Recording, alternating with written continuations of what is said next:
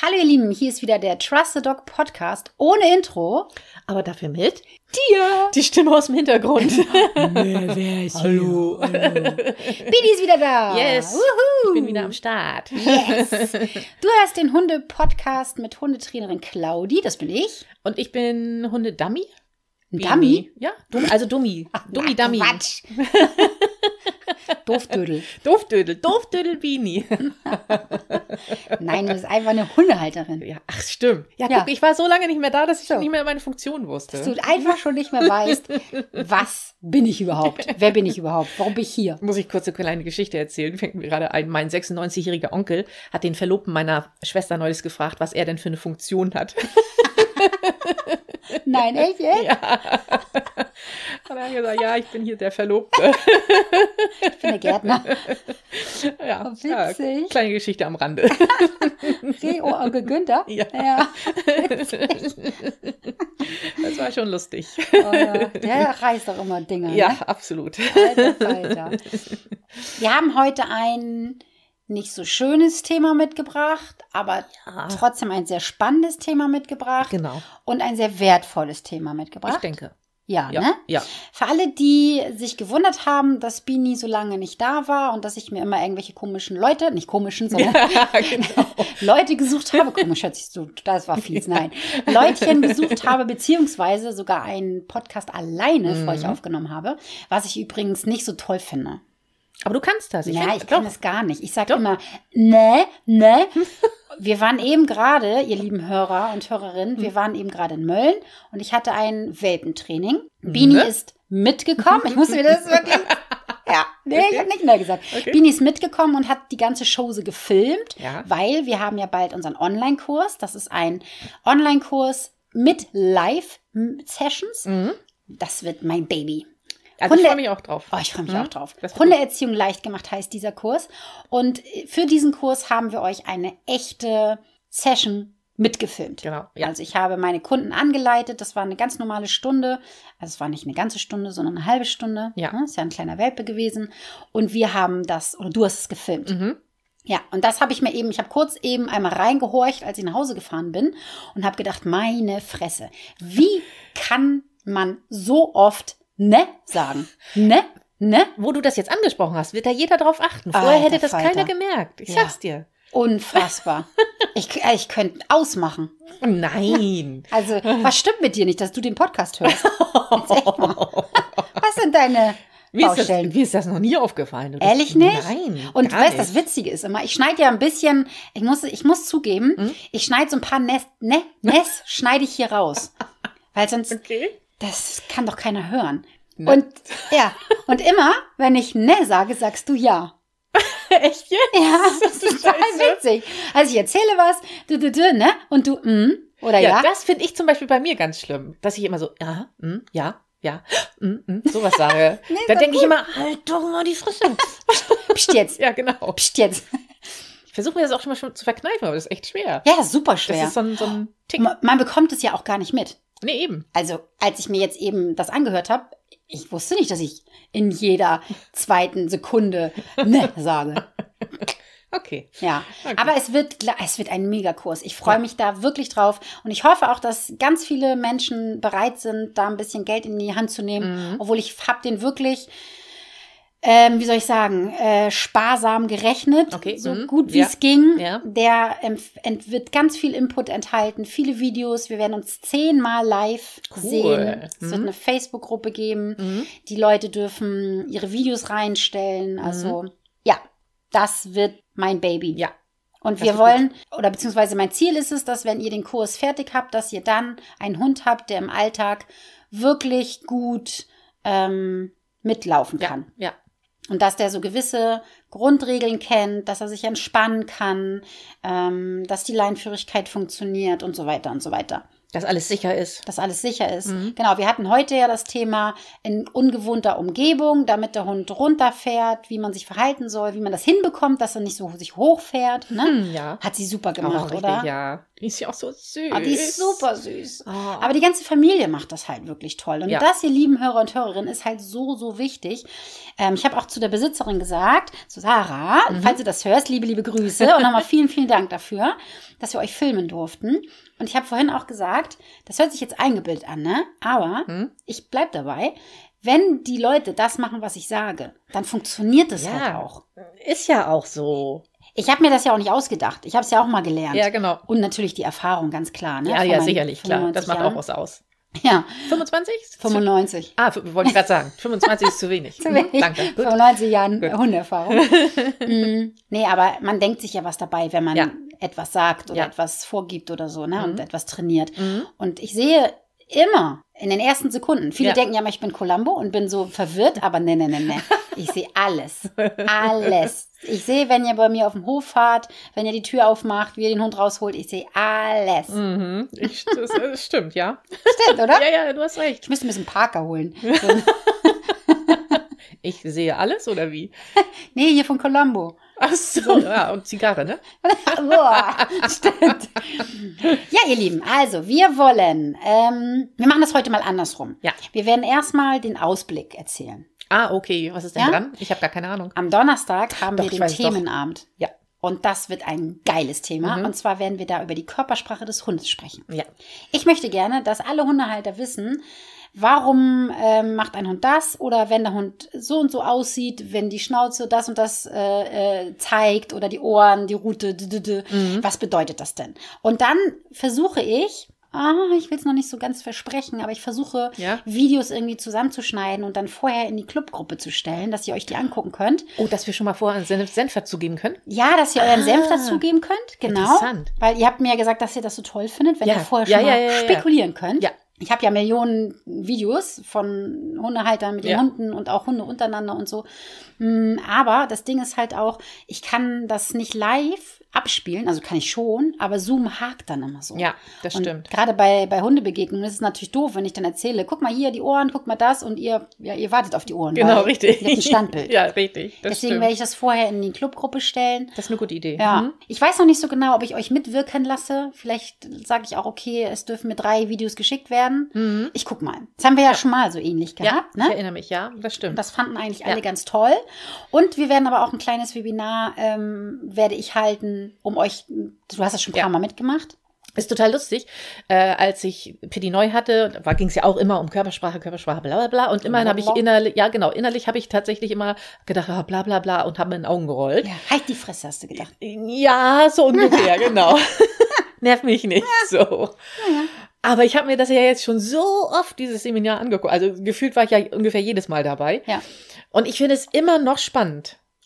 Das ist total verrückt. Und immer noch irgendwie, ähm, finde ich, kann man sich wiedererkennen, Ja. beziehungsweise man denkt dann ja an Situationen, oder? Ja, sowas zum Beispiel. Oder man entdeckt was Neues. Mhm.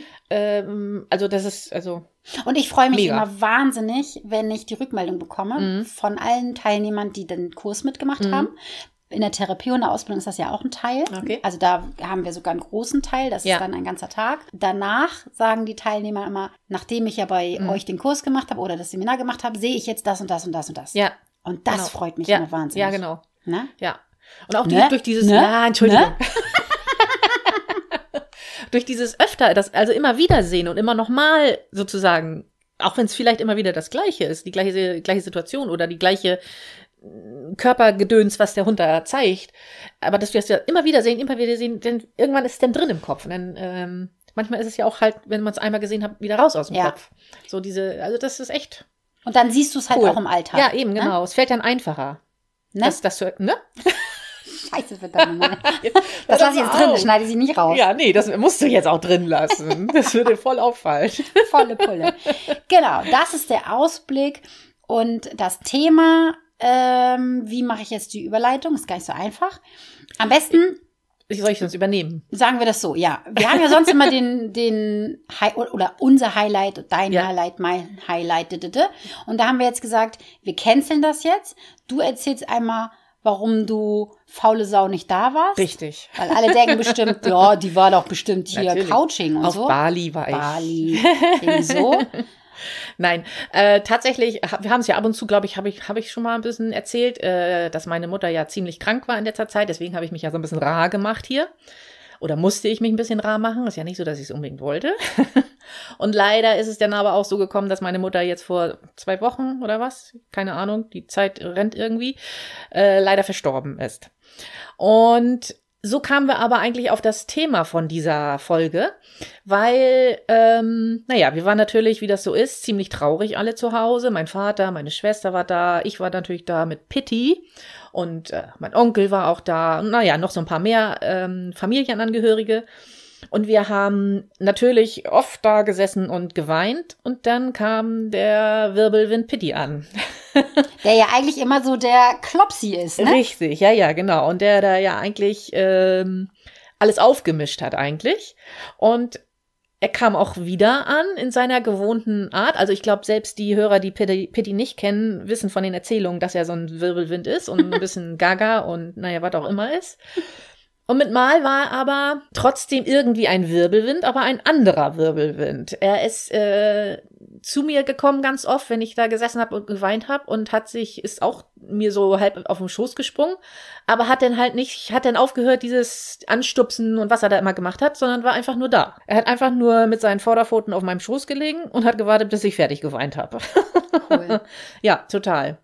Und ähm, er hat mittlerweile auch den äh, einen neuen Namen bei uns bekommen. Er heißt jetzt Dr. Pitt, weil er jetzt unser Therapeut geworden ist. Denn er hilft meinem Vater auch ganz viel. Ähm, ich bin natürlich im Moment ganz viel bei meinem Vater und da habe ich Pitti natürlich dabei. Und äh, wenn ich dann zum Arbeiten bin, dann sagt er immer, bring mir mal den Pitti her. Ach cool. und dann bringe ich Pitti rüber und dann ist er halt eben nicht alleine und äh, gibt ihm dann so so Sicherheit. Ähm, ja, und so kamen wir auf äh, die therapeutische Wirkung von Hunden quasi. Ja, absolut. Was habe ich gesagt? Er ist doch Nalas Sohn. Ja, genau. Da, da, hat er dann tatsächlich dann doch was von Nala abgekriegt. Hat er doch was von Nala ja, abbekommen. Ja, genau, richtig. Ja, weil hm. bei Kaspar ist es nämlich eher nicht so. Der ist zwar auch sehr kuschelig und ja. so, aber wenn man jetzt richtig doll traurig ist und ähm, ich habe ja auch schon in der Therapie gearbeitet, mhm. Damals ist Nala ja schwanger gewesen. Und War ich hab, sie während der Zeit schwanger? Ja, also Ach. sie ist da ja schwanger geworden. Und ich habe ein, mhm. Entschuldigung, ein hochgradig behindertes Kind betreut mit Nala. Und irgendwann war es ja so weit, dass sie halt nicht mehr mit konnte. Und wir ja. haben uns das dann, haben dann besprochen, dass wir dann äh, Kasper mitnehmen. Das waren mhm. dann wirklich nur noch so zwei, drei Mal oder okay. so. Mhm. Und da habe ich ganz deutlich den Unterschied gesehen.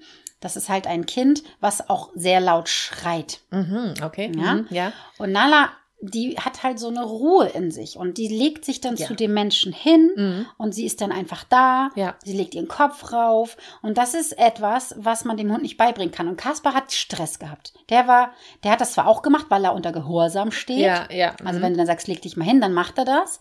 Aber du siehst es ja an der, an den, an der Körpersprache. Da sind mhm. wir wieder bei der Körpersprache. Ja. Du siehst es halt einfach am Gesicht, an der Körperhaltung, am Hecheln, an der Ohrenstellung. Siehst du das halt, dass Kaspar Stress hat. Nala nicht. Ja.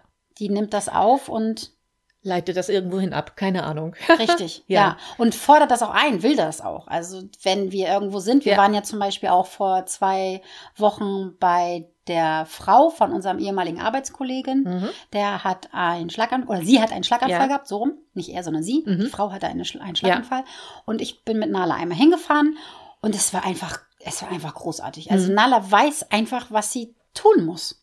Verrückt. Die ne? weiß das einfach. Ja. ja, also die haben da ja irgendwie Antennen. Antennen, ja. Kann man ja nicht anders sagen. Genau. Und da kann man dann auch sehen, dass Pitti dann in der Situation, ich war ja nicht dabei, ja. aber wahrscheinlich einfach wusste, wie er sich verhalten ja. soll. Ja, er ist, er ist, also er ist schon noch anders als Nala. Also diese, diese mega Ruhe, diese Na die Nala hat, die hat er nicht. Aber ähm, dafür, dass man ihn halt so quirlig und so, so hektisch kennt, war er dann mit mal, ja, hat dadurch uns eine Ruhe gegeben. Ne? Ja, ja. ja.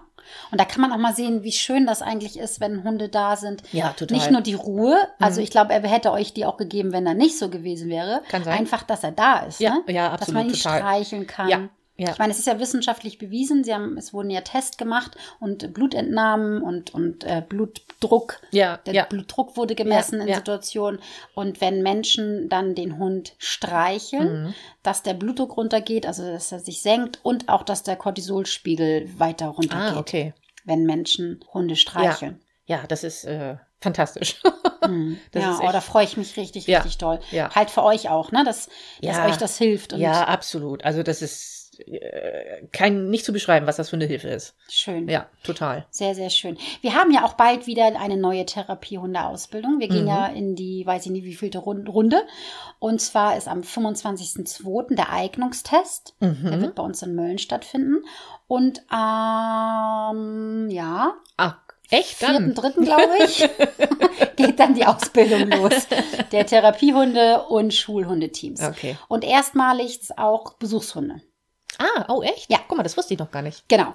Wir Cool. werden mal gucken. Wir wurden jetzt schon ein paar Mal angesprochen und da ist es, ja, Ja. werden wir dann in die Runde gehen. Sehr cool. Und äh, Eignungstest, äh, wer darf, wer- was muss man tun, wenn man dahin möchte? Und Für den? Eignungstest? Ja. Hm. Das ist echt eine coole Frage und ich werde auch häufig angerufen. Die meisten fragen dann immer so nach der Ausbildung und ich sage dann immer, der Eignungstest ist wirklich die erste Stufe. Mhm. Da geht auch kein Weg dran vorbei. Irgendjemand hatte mich mal äh, angerufen und hat dann gefragt, ja, wie ist denn das, wenn ich dann den Eignungstest nicht bestehe, kann ich dann trotzdem die Ausbildung machen? äh, nee. Nein. Das ist eine lustige Frage.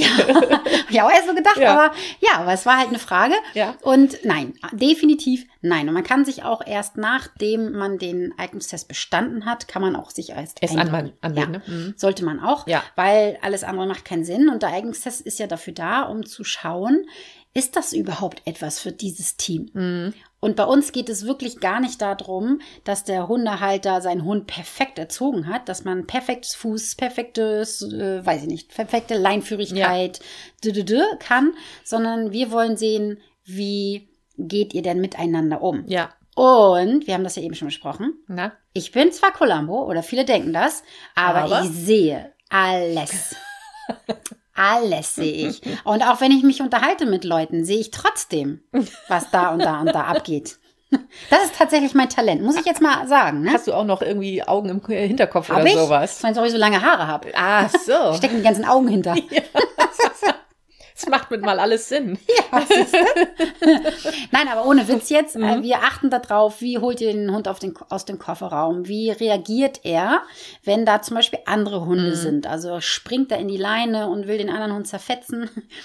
Ja. ne? Oder ist er halt einfach nur aufgeregt? Ja. Und das ist nicht schlimm. Ja. Es ist nicht schlimm, wenn dein Hund aufgeregt ist. Du wirst wahrscheinlich auch aufgeregt sein. Ich wäre mega aufgeregt. Total. Es Ja. geht da ja auch meistens um etwas. Ja. Ne? Das heißt, man möchte sich meistens beruflich verändern, man möchte etwas erreichen, man möchte Menschen etwas zurückgeben vielleicht. Oder Mhm. Ja. vielleicht bist du in einem therapeutischen Bereich schon tätig und möchtest deinen Hund ergänzend mitnehmen. Dü-dü-dü. Ja, Ne? aber dann ist es ja auch gut zu wissen, dass es also, dass man nicht da getestet wird, in Anführungszeichen, auf das, was man schon kann mit dem Hund. Weil ich glaube, das nimmt dann so ein bisschen so einen Druck dann da raus, Ja.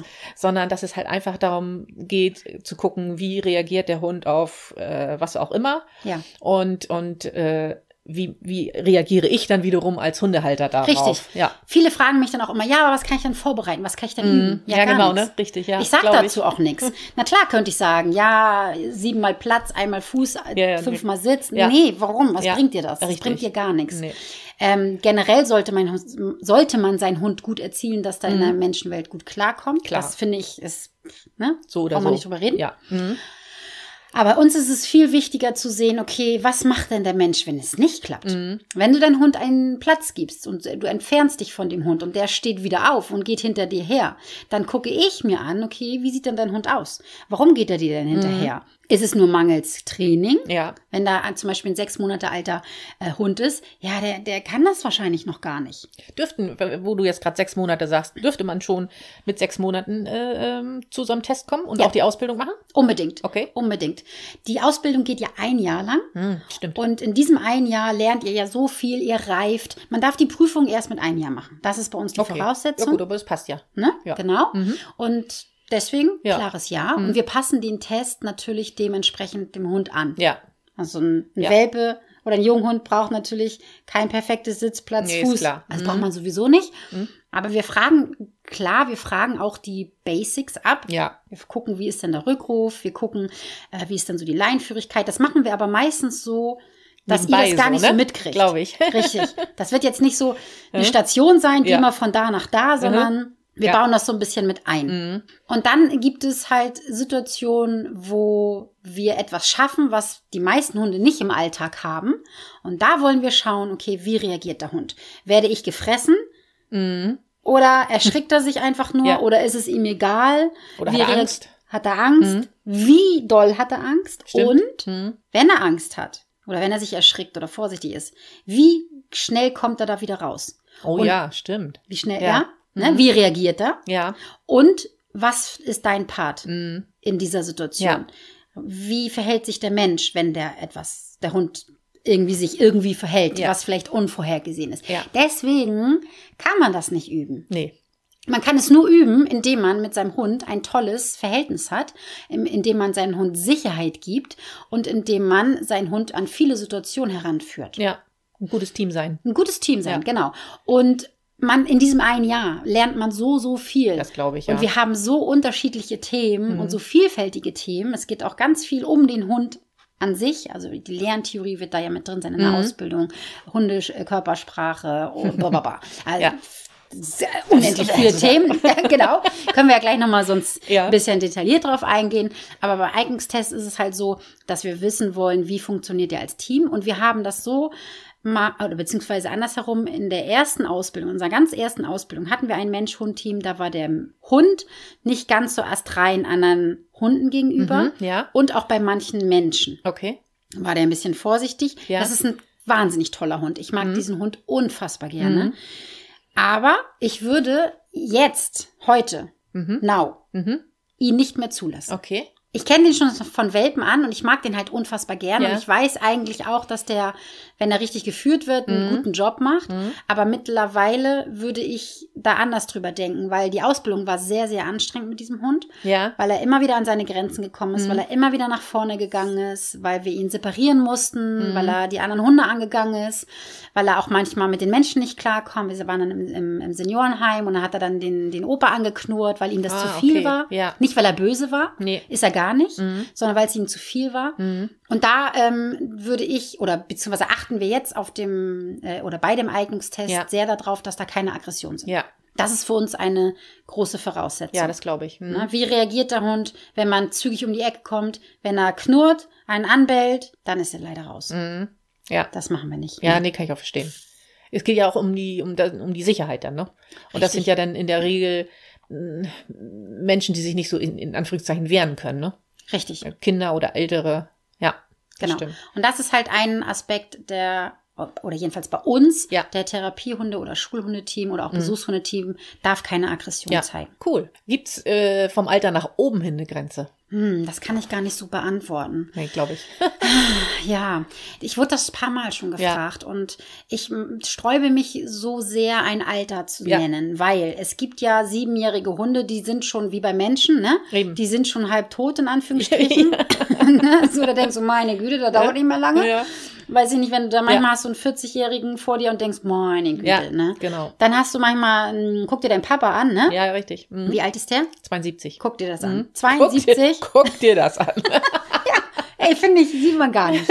Der ist wirklich Ja. super fit, man Mhm. merkt das gar nicht und Mhm. der ist echt agil Mhm. und so. Und da könnte ich mir zum Beispiel auch vorstellen, dass sein Vater nochmal irgendwie sich umorientiert, irgendwie nochmal eine Fortbildung macht oder so, was ihn begeistert und wo er sich reinknien kann. ja, ist nicht auszuschließen. Ja, ne? Und dann Ja. gibt es 40-Jährige Ja. und so. Und das ist bei den. Hunden genauso. Ja, finde ich gut. Nala zum Mhm. Beispiel, ne? Mhm. Die würde immer noch was reißen. Die Mhm. ist zehn. Mhm, stimmt. Die würde, ich, ich weiß nicht, ob ich jetzt so eine riesen Ausbildung mit ihr machen würde, ne? Aber Mhm. wenn du zum Beispiel so einen sieben-, achtjährigen hast oder so, ja, warum nicht? Wenn der wirklich noch richtig fit ist Ja. und es kommt auch immer auf die Rasse drauf an. So ja, die ganz großen Hunde werden ja nun mal auch nicht so alt wie die Mischlinge Mhm. oder kleinere Hunde, ne? Auch da kommt es ja so ein bisschen drauf an. Genau, da muss man so ein bisschen individuell gucken. Und man muss auch gucken, was möchte man machen. Ja, stimmt. Wenn du jetzt so einen Senior hast und du willst in den Kindergarten gehen, ha, Können schwierig. viele- Ja, kann ich mir vorstellen. Ja. Wenn du einmal in die Woche, einmal die Woche ins betreute Wohnen gehen möchtest und hast vielleicht nur so drei, vier Bewohner, ja, Mhm. warum nicht? Ja, ja, genau, ne? Ja. So wie Anton in Bergentin. Anton ist ein Ja. Pudel, der hat auch, das ist auch so ein wahnsinnig geiles Team. Ich liebe Ja. dieses Team. Die sind richtig süß Oh, die miteinander. sind so toll. Und ich freue mich jedes Mal, wenn ich die sehe. Weißt du noch, wie die angefangen haben? Gerade Mhm. so beim Tricksen. Die sind sehr viel bei mir in der Hundeschule gewesen, haben ja auch die Therapiehundeausbildung gemacht, sind auch im Club und haben bei mir auch immer das ganze Online-Trickdocken Mhm. und so gemacht. Ja, und als stimmt. wir angefangen haben, oh Gott, zwei Klicks und der war fertig. Ja, ja, richtig. Kasper. Stimmt, ja. Ja. Stimmt. Und Kerstin immer so, oh, der ist so doof. Oder der, der schnallt das nicht. Oder reilt das nicht. Und wie immer so, doch, du bleibst am Ball. Das macht der, das macht der. Und wie geil ist Mhm. ja, er jetzt? der ist richtig gut. Der ist richtig Es bringt gut. so Spaß, den zuzugucken. ja, Ja. beide auch, ne? Und Ja. sie ist ja auch so ein bisschen vertöffelt, so, dann, aber weiß das ja auch, ne? Ja. Und sagt das auch so, oh nee, da war ich jetzt zu langsam, ah nee, so. Und es freut mich immer so sehr, wenn sie dann von ihrer Arbeit erzählt. Und in Mhm. der Therapie und der Ausbildung, Bini, da war sie immer eine, die gesagt hat, oh nee, ach, ich weiß ja auch gar nicht, was ich so machen soll und ach, pff, Ach, hm, echt? Ja? Und ich kann das gar nicht so. Ey, und die hat da Spiele rangeschleppt. Mega. Ja, So geile Ideen. Und wie immer so, äh? cool. Und du sagst immer, du weißt nicht, was du machen sollst. Ja. Guck dir mal an, was für ein geiles Spiel du Ja. gerade auf die Beine gestellt hast. Ist ja mega. Ja, und die gehen jede Woche in das Altenheim Ja. oder in, ich glaube, betreutes Wohnen ist das. Mhm. Und die macht da die Bewohner wirklich mit Anton glücklich. Ist ganz, ganz Super großartig. cool. Ganz toll. Und es ist halt auch so, wenn ein Hund eine Thera oder ein Team die Ausbildung macht, dann ist das nicht selten so, dass die mit dieser Vorstellung da reingehen und Mhm. nachher was ganz anderes machen. Ja, cool, ne? Also die- finde ich mega. Ja. Wenn man da noch so auf andere Ideen kommt. Man erweitert ja auch so seinen Ja, Horizont. richtig, genau. Und lernt dann ja einfach auch Mhm. andere Dinge kennen. Und Ja. dann vielleicht merkt man, oh, Mhm. ich möchte doch gerne mit Älteren Ja. arbeiten. Ja, genau, ne? Ne? Und nicht nur mit Kindern oder so. Sehr cool. Genau. Gibt's denn irgendwelche ähm, Einschränkungen, was die Rasse angeht? Nee. Nee. nee. Jein. Sagen wir es so. Viele denken ja immer so, ja, du hast immer so gut reden mit deinen Golden Retrievern, die machen das ja von ganz alleine. Natürlich. Klar bringen die etwas mit, Mhm. genetisch einfach. Klar. Mhm. Ne? Mhm. Wenn du einen Hund hast, der sehr reizaktiv ist, der jagdlich sehr ambitioniert ist, der vielleicht eine hohe Aggressions- oder bezieh- beziehungsweise nicht eine hohe, sondern eine niedrige äh, Aggressionsgrenze hat, Mhm. das sind halt Rassen, beziehungsweise Hunde, ich will das gar nicht so auf die Rassen Ja. nutzen, die sind halt dafür nicht geeignet. Und na klar gibt es Rassen, ich sag jetzt mal Hüter, Mhm. obwohl meine Kollegin, mit der ich die Ausbildung zusammen mache, ist das beste Stimmt. Beispiel. Heike hat einen, nämlich ja. zwei Border Collies. Stimmt. Aber wenn man jetzt die auch mal wieder mit meinen vergleicht, ist es trotz alledem so, dass man da einen Unterschied sieht. Mhm. Ihre sind trotzdem, obwohl sie wirklich, das sind tolle Therapiehunde, Ja. die machen, machen ganz wertvolle Arbeit. Wenn man sie aber vergleicht, merkt man, dass sie halt, sie sind nervöser, sie sind reizempfänglicher. Sie können in, in vielen Situationen, sagt äh, Heike ja auch, das würden meine so jetzt nicht mitmachen. Okay. Mhm. Kann vielleicht auch an Erziehung liegen, ne, Heike, meine Süße? vielleicht, ich weiß es nicht, falls du das hörst. Juhu. Nein, aber klar gibt es dann da auch so ein bisschen einen Unterschied. Oder wenn du jetzt ähm, einen Windhund zum Beispiel nimmst Ja. oder ein Collie, auch Mhm. ein gutes Beispiel. Die sind halt sensibler. Ne? Die sind in vielen Situationen kannst du die nicht so gut lenken, weil sie einfach sensibler sind, unsicherer sind und auch einfach dickköpfiger. Also sie wollen es dann so, einfach ach auch echt? nicht. Okay. Ne? Mhm. Das gibt es ja auch, wenn du so einen Bully zum Beispiel Okay. hast, der dann sagt, nee, will ich jetzt nicht. Mach selber. Na, mach selber, genau. Okay. Oder wenn du halt einen ein, ein Hund hast, der sehr jagdlich ambitioniert ist Mhm. und der vielleicht von Haus aus auch wirklich sehr nervös ist. Ich Ja. nehme jetzt mal den Wischler. Mhm. Ich kenne aber auch tolle Therapiehunde. Das sind Die Wischler. Wischler sind. Ja, okay, ja. kenne ich auch. Ja. Man kann das nicht so verallgemeinern. Nee, ne? Mhm. Aber es hat ja schon auch seinen Grund, warum die meisten äh, Therapiehunde irgendwie so Goldies, Labbies so in diese Richtung sind. Wir haben aber in der jetzigen Therapiehunde-Ausbildung, die jetzt im März ihre Prüfung machen, Mhm. die süße Ronja. Und Ronja ist ein Auslandshund. Ah, okay. Da ist ein Hüter drinne. Ja. Weiß ich nicht, was da alles drinne ist. Die ist noch, die ist jetzt nicht hier geboren. Also Ja. wie gesagt, die kommt aus dem Tierschutz, Ja, kommt ja. aus dem Ausland und die macht ganz, ganz, ganz wertvolle Arbeit in einer Behinderteneinrichtung. Cool. Richtig cool. Ja. Aber auch da müssen wir ein bisschen gucken, weil man merkt schon in einigen Situationen, Mhm. dass sie halt schneller nach oben fährt, also dass sie dann anfängt zu bellen, Ja. dass sie dann auf Reize reagiert, Mhm. dass sie in, manchen Situationen nicht ganz so chillig ist. Ähm, das muss man halt wissen. Ja. Man muss drauf eingehen und man muss wissen, wie man das dann lenken kann. Ja, ja, ja, genau. Ne? Und dafür ist ja die Ausbildung, wie gesagt, ein Jahr. Mhm. Und der Eignungstest ist halt wichtig. Ja, das stimmt. Und wenn du jetzt sagst, äh, das geht ein Jahr lang, äh, wie, wie, äh, wie, wie funktioniert das? Also, du hast ja jetzt schon gesagt, auf Platz trefft ihr euch, es gibt Webinare, wie, und was müsst ihr, und, und muss man Praxiseinheiten machen oder. Wie auch immer? Geile Frage, weil wir haben auch gerade umgestellt. Ah, Mhm. Wir machen das in unserer Ausbildung so. Es gibt auf jeden Fall ganz viele Theorieeinheiten, weil wir es ganz wichtig finden, dass ihr wisst, was ihr da tut. Es wird viel um den Hund gehen. Das ist uns ein Riesenbedürfnis, weil ihr könnt nur eine gute Arbeit leisten, wenn ihr euren Hund versteht. Es wird zum Beispiel auch sowas geben wie Massageeinheiten. Mhm. Da kommt meine Hundephysio, die zeigt dann, was man tun kann, um den Hund wieder zu entspannen. Weil man muss sich nichts vormachen. Der Hund arbeitet. ja, ja, Und eben, eben. jeder, der arbeitet, weiß, wie schnell man entspa äh, Ja, verspannen verspannt. kann. Das ist uns, uns sehr, sehr, sehr wichtig, dass man immer auf seinen Hund guckt. Und es ist tatsächlich auch so, wenn man die Ausbildung beendet hat. Ich kriege das ja immer wieder zu hören, dass man eine andere, ähm, wie soll ich sagen, ein anderes Miteinander mit seinem Hund hat. das, das ist dann ich. nicht einfach Das- nur ein Partner. Nee, das glaube ich. Sondern man ist viel intensiver Ja. mit seinem Hund. Man Ja. kann ihn viel besser lesen. Die kleinsten Veränderungen erkennt man bei Kann seinem ich mir Hund. total vorstellen, ja. Und dadurch, dass man ja auch viel intensiver trainiert und ja auch arbeitet, ähm, verlässt sich der Hund viel besser auf den Menschen Ja. und der Mensch kann sich aber auch auf den Hund viel besser verlassen. Das heißt, alleine deswegen ist man schon ein ganz anderes Team. Mhm, Ne? Und äh, soll ich jetzt sagen? Achso, deswegen, genau. Äh, gibt, es gibt ganz viele verschiedene Theorieeinheiten. Wir haben dann auch so einen Quatsch wie So ein Quatsch, wie, ne? Recht, Hygiene, Vorschriften, Konzepterstellung. Ja, gehört halt dazu, ne? Ah, Senioren, äh, dann, Mhm. dann, also ich mache das nicht, weil ich, was soll ich über Senioren sprechen? Ich bin keine Altenpflegerin, Mhm. Ja. Mhm. keine Ahnung. Dafür habe ich eine Expertin, das Ja. macht die Dido bei uns. Dann haben wir noch meine Tierärztin, die Frau Dr. Meinert, Mhm. die zeigt uns, wie man einen Verband wechselt. Ja. Wie oft habe ich da schon zugeguckt? Ja, Ich kann es immer noch nicht. du kannst es immer noch nicht. Du willst es immer noch Ich nicht. weiß ja auch nicht. Aber auf jeden Fall ist das eine Einheit. Ja. Dann ähm, haben wir die, die, die, bababab, die süße Madeleine bei uns im Team. Mhm. Die hat auch die Ausbildung bei mir gemacht und arbeitet mit psychisch kranken Jugendlichen. Und die erzählt uns etwas über Kinder und Jugendliche. Mhm. Ja.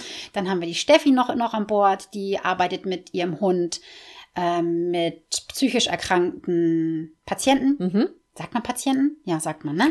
Ja, kommt drauf an, in welchem Kontext. Also manchmal Erwachsene? sind es manchmal sind's Patienten, manchmal sind es Bewohner, manchmal sind es Klienten. Klienten. Ja, genau. Und da setzt sie ihren Hund auch sehr erfolgreich Mhm. ein. Und ja, ihr hört halt schon, ich habe halt verschiedene Experten zu verschiedenen Themen. Mhm. Es wird noch die Walli zu uns stoßen. Oh, ich verrate jetzt hier was. Okay. Ja, ich mache das einfach. Okay. Die Walli wird zu uns stoßen. Sie ist ja Lehrerin und sie wird dann den pädagogischen Teil ein bisschen abdecken. Ach, dann ist Wally Valeska. Ja. Aha. Oh Gott, ich weiß gar nicht, wie ich das durfte. Jetzt muss ich das rausschneiden. Ich muss sie nachher mal fragen. Kannst ja einfach nur den Namen piepen. Genau. Ja, stimmt. Ah, nee, ich weiß nicht, wie das geht hier. Ich weiß es auch nicht. ich weiß es auch nicht. Naja, ihr hört schon, also es sind verschiedene Experten, weil ich finde immer, ich kann nicht alles bedienen. Nein, nein, nein, geht ja auch nicht. Nee, früher Mhm. habe ich ja immer gesagt, ich würde niemals so eine Therapiehunde-Ausbildung anbieten, weil ich das gar nicht kann. Und Nee, ja, aber du kannst dir ja deine, deine äh, ähm, Leute für das Thema holen. Richtig. Und dann hat Heike mich ja irgendwann gefunden, Ja. beziehungsweise wir haben uns bei einer Prüfung kennengelernt Ja. und dann hat sie mich ja angesprochen. Ja. Erst habe ich auch gesagt, nee. Und dann habe ich nochmal drüber nachgedacht und habe gedacht, ja, warum nicht? Ich kann so viel. Ja, eben. Und Nicht du bist alles? Halt die, nee, du, du bist die Expertin, was die Hunde halt angeht. Richtig. Ne? Genau. Und deswegen, viele Tricks werdet ihr natürlich lernen. Und dann ist es so, dass diese ganzen Theoriegedöns, Ja. das machen wir immer online. Das wird über Zoom stattfinden, das ist online und begleitend ähm, kriegt man sozusagen einen Kurs, wo dann ganze Videos ähm, dahinter äh, hinterlegt werden, Handouts, Workbooks, d -d -d. Ja. Das ist dann quasi in so einem Online-Kurs Ja. dazu. Und die Praxiseinheiten, die teilen wir auf in Form von, es wird Praxiseinheiten bei mir auf dem Platz geben. Mhm. Da machen wir dann zum Beispiel Materialkunde und äh, da werden wir dann sozusagen was nachstellen. Mhm. Nehmen wir jetzt mal die Senioren, ne, wenn, wenn man im Seniorenheim arbeiten möchte oder in der Schule möchte oder so, dann denkt man sich Spiele aus, die wir natürlich auch vorher so ein bisschen besprochen haben bei Ja. der Materialkunde. Ne? Okay. Mhm. Und dann sind wir selber die Probanden und stellen das dann nach. Und die, ha die Hauptarbeit aber, Mhm. die wird in den eigenen Einrichtungen sein. Ah, ach so, okay. Genau, das ist neu. Sonst Ja. sind wir ja immer mit den Teams in die Einrichtungen hingefahren. Ja, das erinnere ich mich noch. Mhm. Genau. Mhm. Und kannst du dich auch erinnern, wie gestresst die Hunde waren? Ja, das stimmt, teilweise ja. Du hast Mhm. das ja gefilmt Mhm. Ja, teilweise. ja, ja, ab und zu habe ich gefilmt, genau. Und Mhm. viele Hunde können das einfach nicht. Und ich möchte kein Hundetraining machen, sondern ich möchte Therapiehundeteams ausbilden. Ja, ja, eben, genau, ne? Genau. Und für viele Hunde ist das aber Hundetraining. Und dann sind die schon so auf. Dass die gar nicht zeigen können, was sie eigentlich können. Mhm. Und sie sind dann ja auch nicht in ihrem Arbeitsumfeld. Ja. Also wenn Ja. ich habe zum Beispiel jetzt im Moment habe ich eine Zahnärztin. Hier Dori. Stimmt, ja, richtig, ja. Ja. Stimmt. Ne?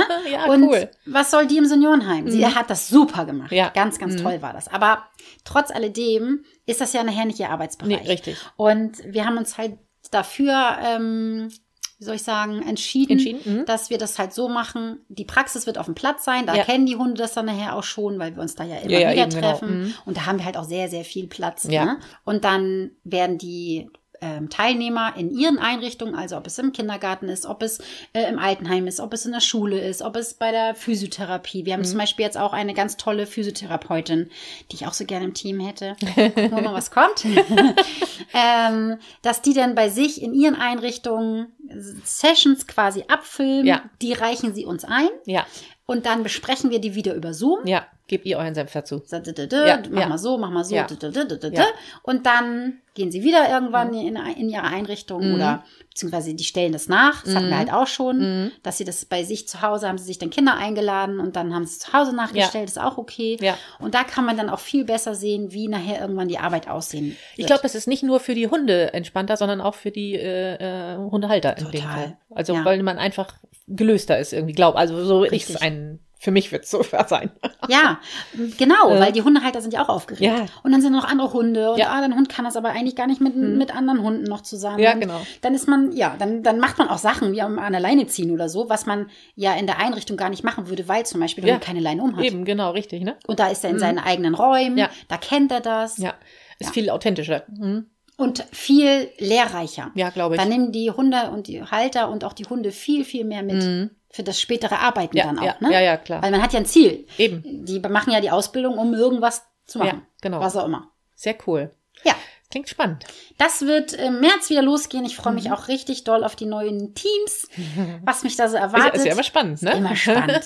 Immer spannend. In der jetzigen äh, Therapie und der Ausbildung haben wir ja wirklich alles kunterbunt und die kommen auch von so weit her. Das ist Ja. verrückt. Die fahren teilweise zweieinhalb, drei Stunden. wow, echt? Oh, cool. aber es ist eine wahnsinnig geile Gruppe. Mega. Ja, also sie ist Ja. wirklich richtig, richtig cool. Alle sehr, sehr bemüht Ja. und haben richtig Bock auch was zu machen und nehmen richtig, saugen alles auf. Ja, das glaube ich, ne? richtig. Ja, ja. Ja, eben weil man ja ein Ziel hat, ne? Man möchte ja was machen damit. Ja, Ja, finde ich cool.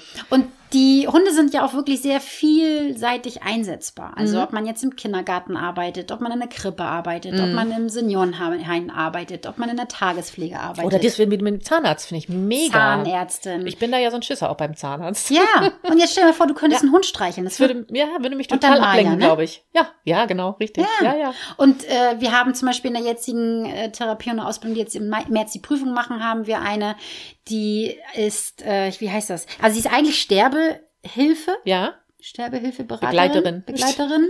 Sterbehilfe. komisch. Ich war ja nicht zu Ende gesprochen. Sterbe okay. Na, ohne Hilfe. Begleitung würde ich auch sagen. Sterbeberaterin? Nein. Beraterin, nein. Begleitung. Also würde ich jetzt denken. Beratung habe ich noch nicht gehört. Das ist auch nicht. Lass ich nochmal rauskommen. Sterbehilfeberaterin, das wäre crazy, nee, das oder? ist, ja, das ist, das ist falsch. Entschuldigung, das ist ja eigentlich ein so wichtiges Thema, aber es ist schon, wie kann man nun wieder so sein, Frau Paulix? Ne? Ne? Oh, Natascha, wenn du das hörst, es tut mir leid, aber es- ich mache das nicht mit Absicht. Aber auf jeden Fall, was Ja. ich sagen wollte, ist, dass sie ihren Hund nicht in dem Bereich eingesetzt hat, so, okay. sondern Mhm. sie ist auch noch Arzthelferin in Ah. einer äh, Kinderpraxis. Oh, auch und eine gute sie nimmt Idee. Blut ab. Oh ja. Und Sammy ist so ein geiler Hund. Das Cool. ist unfassbar, wie Ja. toll er Ja. das macht. Und liebe Natascha, wenn du das hörst, glaub an dich, glaub an deinen Hund, weil da, sie ist auch so eine, die dann so ein bisschen immer Sorge hat. Und Ja. ich denke immer, wie heißt meine Hundeschule? Mhm. Trust, Trust the dog. Und die machen einen richtig geilen Job. Sehr cool, ja. Das ist eine mega Idee. Ja, im Hospiz kannst du den Hund einsetzen, in der Krebshilfe, also hier McDonalds Haus zum Beispiel. ja, ja, genau. Du Mhm. kannst den Hund bei den Angehörigen einsetzen. Absolut, Das absolut. vergessen auch immer ganz Mhm. viele. Ne? Man denkt immer nur an die Kranken, aber hier, Ja. ihr seid das beste ja, ja, Beispiel. genau, richtig, eben, ja. Ihr absolut. Seid, ihr seid das beste Beispiel. Total, ja. Ja? Ja. Und wie würde Oma Della sich das wünschen? Ja, absolut. Genau das. Ja. Ne? Das Definitiv. Crazy Pit. Ja. Crazy. Können wir das nicht ändern? Können wir nicht sagen Dr. Crazy Pit? Dr. Oder Crazy Dr. Pit? Crazy Dr. Fit. Crazy Dr. Also, ja? Oh Gott, was der alles schon für Namen Ich wäre gerne fürs Aufstocken. Okay. Alles klar. ja, also das war mal so ein kleiner Einblick, ihr Lieben. Spannend. Ja, sehr Ich spannend. sage auch, sie auch so oft spannend, ne? spannend, spannend. Ja. Oh, wie spannend. Oh, wie spannend, ey. Mann, spannend. Also gehen wir es jetzt mal spannend zu Ende. Ne? Tschüss. Tschüss. Oh, wie spannend.